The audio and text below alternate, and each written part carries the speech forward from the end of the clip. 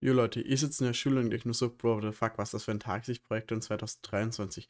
So ging es mir und meinen Freunden auch. Deswegen setzt sich unsere Partei genau dafür ein. Wir wollen nämlich, dass das Bildungssystem komplett modernisiert wird, damit ihr nicht mehr mit der alten Technik und dem alten Unterrichtsmaterial arbeiten müsst. Wir kennen das nur, wenn die Bildung modern ist, wir ein starkes Deutschland haben könnt.